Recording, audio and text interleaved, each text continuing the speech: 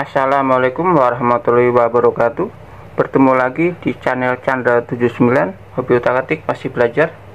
Kali ini saya mau Mencoba Mengecas baterai 18650 Seperti ini. Dengan modul Ini Cas baterai.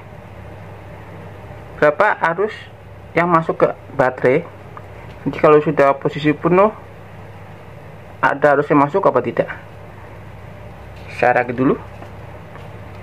Ini baterai 236 ini kapasitas. Ini sudah saya cek. Info ada di pojok atas. Baterai ini tegangannya. Tekan meter di sini teman-teman. 3,41 untuk menghidupkan ini saya memakai ini tegangannya saya turunkan ke 5 volt. Karena seperti itu tegangannya. Cepit pakai cepit. Ini. Sudah berwarna biru. Untuk mengetahui berapa arus yang masuk saya memakai ini apometer ini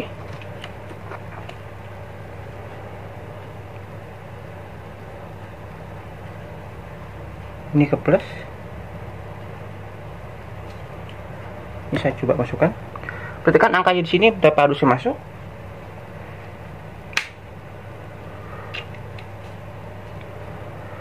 Harusnya masuk sudah 660 miliampere.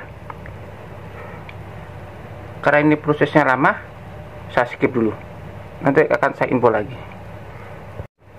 Ya satu lagi teman-teman untuk mengetahui tegangan ini udah berapa volt saya sambungan ini dulu.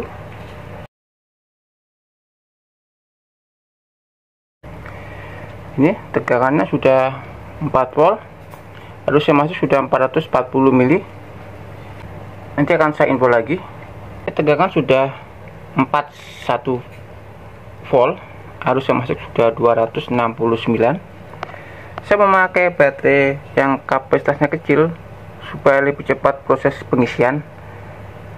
Saya hanya mau mengetahui berapa arus yang masuk. Kalau sudah sudah posisi off ini tandanya lampu hijau maaf lampu biru. Karena lama saya skip lagi.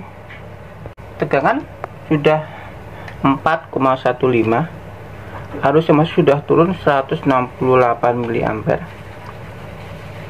berarti proses pengisian masih berlanjut sambil menunggu saya skip lagi.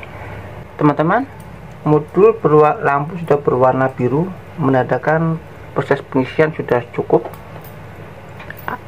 Arus yang masuk di apometer auto saya kurang tahu apakah benar-benar tidak ada arus yang masuk ke sini atau memang apometer saya ada arus minimal untuk buat pengukuran. Tegangan baterai terbaca 409 volt. Kemungkinan baterai 18650 yang saya gunakan kurang sehat jadi berpengaruh ke tegangan baterai. Terima kasih.